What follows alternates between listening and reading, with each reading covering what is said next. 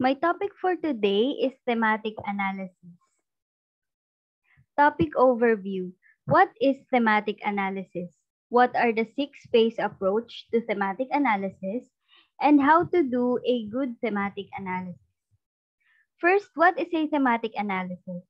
So until recently, thematic analysis or TA was widely used yet poorly defined method of qualitative data analysis but Braun and Clark developed TA in a systematic and sophisticated way. Hence, TA became widely recognized as a unique and valuable method in its own right, alongside other established qualitative approaches like the grounded theory, narrative analysis, and the discourse analysis. So first, we define TA as a method for systematically identifying, organizing, and offering insight into patterns of meaning or themes across a dataset. So, through focusing on meaning across a dataset, TA allows the researcher to see and make sense of collective or shared meanings and experiences. So, meaning, uh, hindi focus ng TA ang isang single data item but the unique experiences, but the common experiences of the participants. So it is a way of identifying what is common to the way a topic is talked or written about and making sense of those commonalities.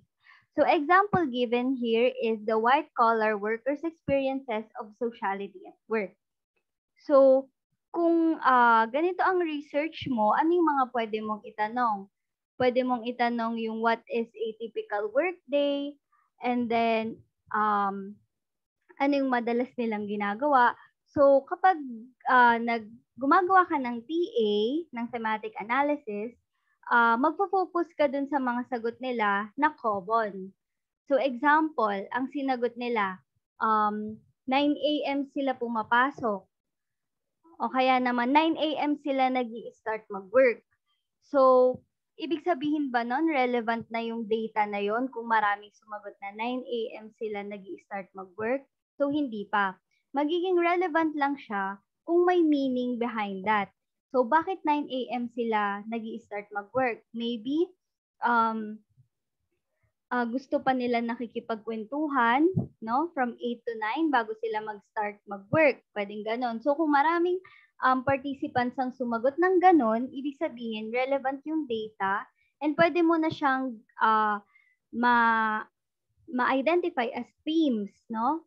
So, anong pwedeng theme doon? Pwedeng they uh, they recognize the importance of uh, social social social life, parang ganon. So, ikaw ang bahala kung anong pwede mong itim sa makukuha mong data.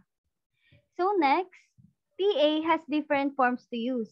Inductive versus deductive or theory-driven data coding and analysis, and experiential versus critical orientation to data, and an essentialist versus constructionalist, um, constructionist theoretical perspective. So, Braun and Clark, they use a work example for an ongoing uh, project that examines sexuality, gender identity, and higher education. So, dun sa project nila, it involves 20 LGBT-identified students in New Zealand and 10 Brit uh, British students to understand their experiences of university life. So, nag-conduct sila ng semi-structured interview and it lasted for an hour. So they they were asked about their expectations in their university life, whether they were out of their uh, out or open about their sexua- sexuality at the university, and their experiences of the classroom and the curriculum, and their views on LGBT lecturers. So yun yung mga tinanong nila. And then they study uh, the common uh, answers or experiences of their participants. So the interviews were were audio recorded and then transcribed orthographically. So meaning um kahit yung mga um ah uh, ganyan uh, ay naka-record and tinatranscribe nila. Yun ang ibig sabihin ng orthographically. And um all basta lahat ng spoken words and sounds ay naka-transcribe. So, next ay yung six phases of thematic analysis. So, the first phase is familiarizing with the data. So, uh, nagbigay si Bron and Clark ng brief example from uh, one of their participants na si Andreas. So, uh, ito yung sinabi niya, I sometimes try to um, not conceal it. That that's not the right word, but um, let's say I'm in a seminar and somebody, a man says to me, oh, look at her. I'm not going, oh, actually, I'm gay. So, kung makikita nyo, may mga naka-underline. Ang mga in-underline ni Bron and Clark ay yung na-emphasize nila no, as relevant. Okay? So, pwedeng si Andreas, kinoconceal niya ang kanyang sexuality, no? And then, yung mga naka, um, may words in inverted commas, okay? Yung, oh, look at her, or yung, oh, actually, I'm gay, yun naman yung mga nasa isip niya. Or, yun yung tumatakbo sa kanyang isip or or pwedeng reported speech nung um nung nasa nung man sa kwento niya. Okay? So kaya din siya in-emphasize kasi relevant din yun. Okay? And then ganyan, ganyan yung example ng transcription. So ilalagay mo rin yung as an interviewer, ilalagay mo rin kung natawa ka, ganyan or kung nagsabi ka ng ya or uh, yes, ganyan, ilalagay mo din dun sa transcription. So next, the familiarization notes on on this um, brief interview example extracts that Andreas reports a common experience of presumed heterosexuality. So, ibig sabihin, siguro, um, uh, yung iba rin na participants, they also have this experience of presumed uh, heterosexuality. Kaya siya naging common experience. And then coming out is an is not an obvious option. And then social norms dictate a certain response. The presumption of heterosexuality appears dilemmatic and he colludes in the presumption but minimally to avoid social awkwardness so as a researcher ina-analyze mo na yung mga sinasabi niya hindi ka lang basta basa ng basa fina-familiarize But at the same time, ina-analyze mo kung ano yung meaning behind ng mga sinasabi niya. So looking a bit more deeply, we speculated that Andres values honesty and being true to yourself. So 'di ba sabi niya, um, ayaw niya namang i-conceal, pero he recognizes a socio-political context in which that is it is constrained. So ibig sabihin, na, na, nare-recognize pa rin niya na yung norms, 'di ba? or yung baka ma-discriminate siya. So, ayun. And he walks a tightrope trying to balance his values and expectations of the context. So, yun nga, as a researcher, i-analyze mo, no, kung anong sinabi ng participants. So, may tawag din dito kapag uh, uh, kapag nag-a-analyze ka ng sagot ng participants, pwedeng in a semantic meaning ibig sabihin, dinedescribe mo lang yung sinabi niya. Pero kapag latent meaning, yun na yung mas deeper meaning na uh, ina-analyze mo siya on a deeper level. Okay? So, ito. Second phase, generating initial codes. So, sa TA, meron tayong tinatawag na codes. So, codes are the building blocks of analysis. So, if your analysis is the brick-built house with a tile roof, Your themes are the walls and the roof. I-discuss natin mamaya kung anong themes. And your codes are the individual bricks and tiles. Codes identify and provide a label for a feature of the data that is potentially relevant to the research question. So, coding can be done at the semantic or latent level of meaning. Yun nga yung sinabi ko kanina. So, example, sabi ni Andrea, Andreas, but I sort of then and after them, you hate myself for it because I don't know how this person would react because the person might then either not talk to me anymore or might sort of yeah. Or next time we met, uh, not not say to next to me or that sort of thing. So kung makikita nyo, in a semantic level, kung ikaw ang researcher, anong pwede mong uh, makuhang meaning doon sa sinabi niya. Pwede mong sabihin na fear or anxiety about people's reaction to his homosexuality. So, dinedescribe mo lang yung kanyang fear. Pero in a latent meaning, pwede mong sabihin na coming out imperative or uh, mahirap yung pagka-come out, no? So, ibig sabihin nun, um, kasi yung semantic, kadalasan kapag first-time researcher ka, semantic level ka talaga mag-analyze. Pero kapag ikaw ay expert researcher na, ganyan, uh, ilang beses ka nang nag-conduct ng thematic analysis, uh, mas ma um, mas magiging ano ka na sa latent uh, meaning, okay? And then TA is not prescriptive about how you segment the data as you code it. So you do not have to produce a code for every line or transcript. Hindi naman lahat ng uh, sentences ay lalagyan mo ng code. So you can code in a large or small chunks. Some chunks will not be coded at all. For example, di ba nga sabi ko, ang ang magpo-focus ka lang naman dun sa common or shared experiences. Kapag may nasabi si participants na unique lang sa kanya or siya lang yung nagsabi ng ganun, hindi mo na siya ka- kailangan i-code kasi nga hindi siya relevant. Okay? Hindi yun yung focus ng TA. Okay? And then second phase, generating initial codes. So habang uh, nakikinig ka ng uh, audio recording and then tinatranscribe mo siya, magkakaroon ka ng, uh, makakaisip ka na ng mga initial codes mo. So for example, ito yung binigay dito na example, uh, yung transcript na yung kanina na sinabi niya, I try to not conceal but uh, hindi niya din naman inaamin. Parang ganun. So, ang code ni researcher dito, not hiding but not shouting or hindi mo pinagsisigawan na bakla ka. Kumbaga, parang ganun. Or homosexual ka. No? And then next, heterosexual assumption. Okay? And then hidden curriculum of heteron uh, normativity. So, yun, marami kang pwedeng mailagay na code. Okay? And then, um, Uh, for, ayan, nakalagay din dito, for example, our code modifying behavior, speech, and practices to avoid heterosexism was initially titled as modifying behavior to avoid heterosexism. So, kaya siya na-modify kasi pag gumagawa ka ng initial code, uh, yun nga, uh, uh, from the word itself, initial pa lang naman yun. Pero kapag na-transcribe mo na yung uh, sa mga ibang participants, makikita mo na doon na, ah, kailangan ko palang idagdag yung sa modifying behavior ay yung speech and then yung practices kasi common sa kanila yon na pati sa speech nila, no? Minomodify nila, pati yung practice nila, minomodify nila. So, madadagdagan na talaga yung code mo as modifying behavior, speech, and then practices. Okay?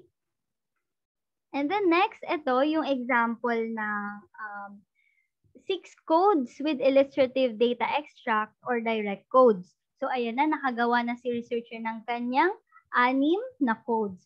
So, kung makikita mo nyo dito, nakalagay, uh, mo, under modifying speech behavior and practices to avoid heterosexism, nakalagay yung sagot ni David, yung sagot ni Andreas, yung sagot ni John, and then yung sagot ulit ni David, and then yung kay Asha.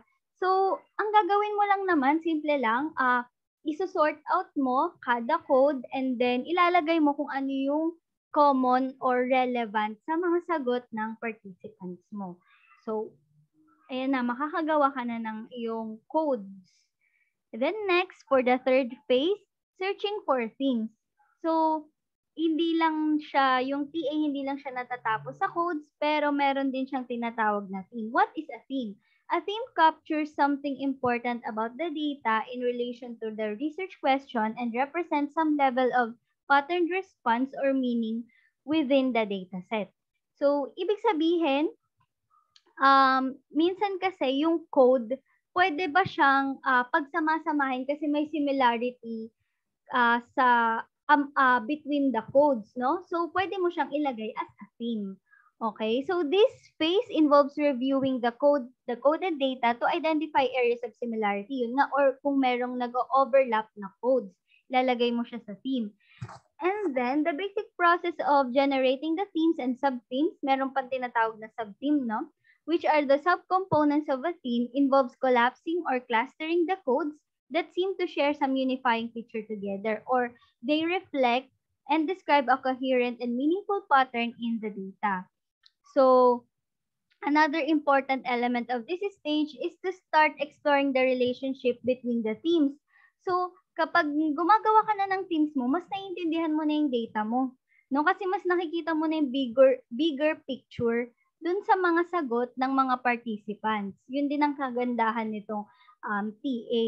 And then, ayun, so sabi dito, good teams are distinctive, distinct sa isa't isa, and to some extent, they can stand alone, but they also need together, uh, need to work together as a whole.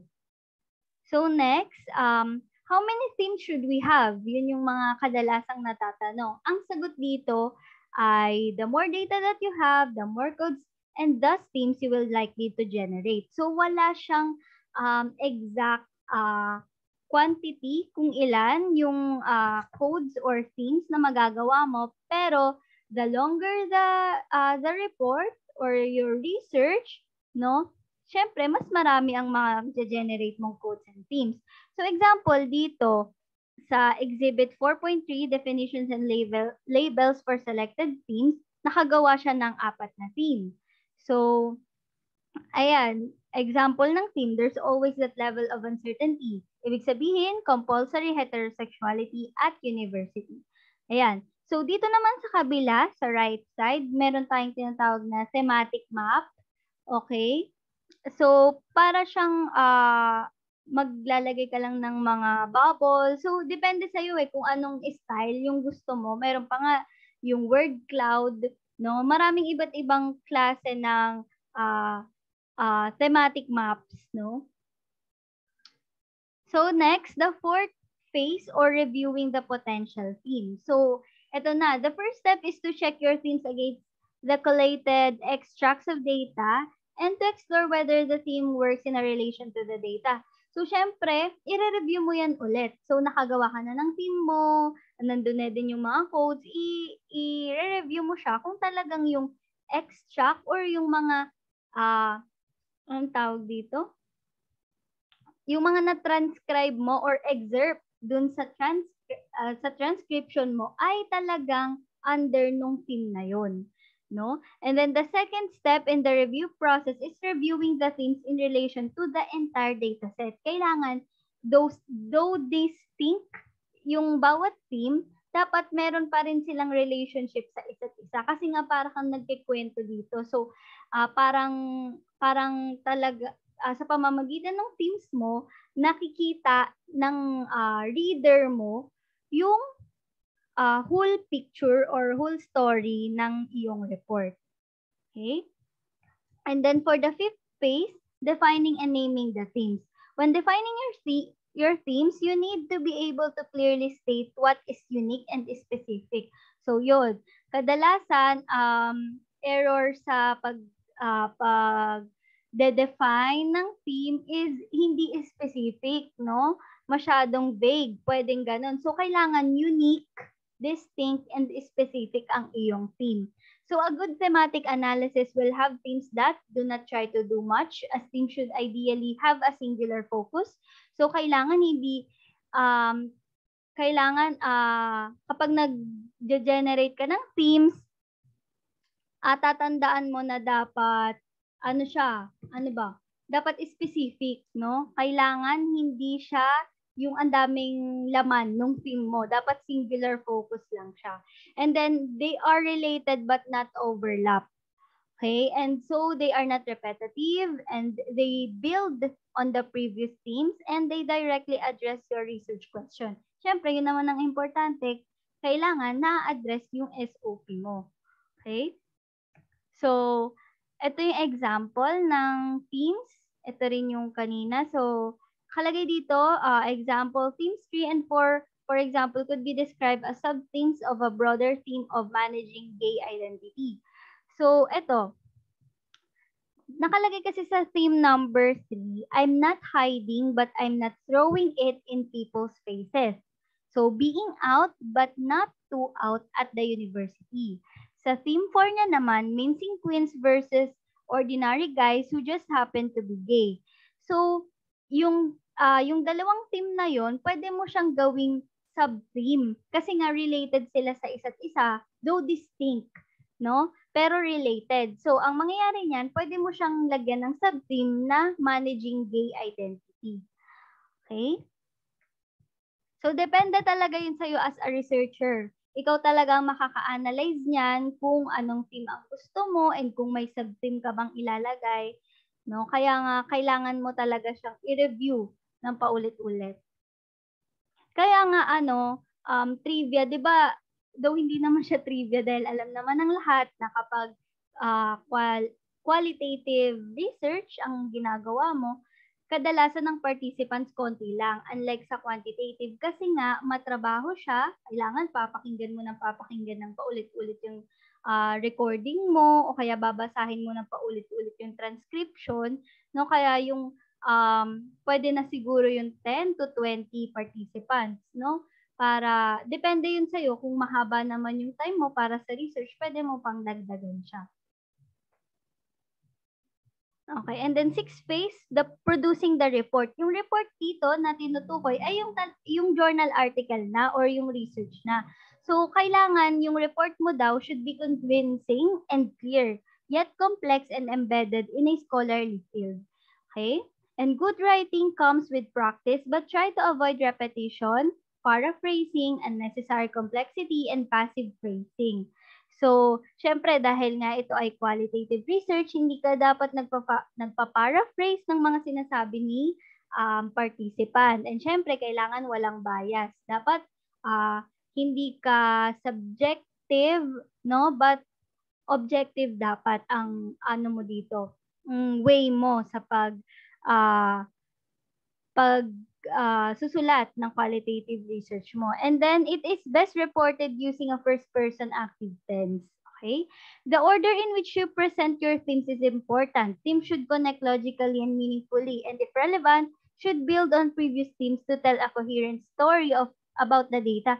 So dapat dapat daw yung theme mo ay may order din lo, na logically. So ibig sabihin, ah, para ka nga nagsas nagkukuwento, 'di ba? So, saan ka ba mag-uumpisa? Sa ending na ba agad? Siyempre, dun ka muna sa introduction. So, ganun din yung theme mo. Sa, sa theme 1 mo, dapat yung intro muna, kung about siya saan, 'di ba? Yung yun din yung mga sagot nila sa first question mo, 'di ba? And then hanggang sa mag-build up na yung yung story. And then dapat daw coherent ang story mo about the data and they should be connected to each other. So doing thematic analysis well, common errors include providing data ex extracts with little or little or no analysis. So minsan kapag syempre first time researcher ka, uh, halos lahat uh, kinocode mo, halos lahat feeling mo relevant, ganyan. So pwedeng maglalagay ka ng mga data na wala namang ka-relevant, relevant, wala namang ka-relevance, relevance, and then hindi naman, uh, hindi mo siya na-analyze maayos. So, yun yung common errors. And yung iba naman, yung simple paraphrasing, and yung summarization of the data, yun din yung nakikitang common errors dito sa TA. And then, using data collection questions as themes is another common error. Ayun, ginagawang theme yung SOP. So, hindi siya ganun, no? Oh, and then, example, incidence of homophobia, so vague, no? And then there's always level of uh, cert- uncertainty, yan naman yung pwede, no? Compulsory heterosexuality at university, ganyan siya. Okay, finally, TA can suffer because of mismatches between the data and analysis or between the form of TA done and the theoretical position of the report. So, syempre, kailangan meron ka pa rin theoretical framework kapag gumagawa ka ng qualitative research. So that's the end of my report. Um, thank you.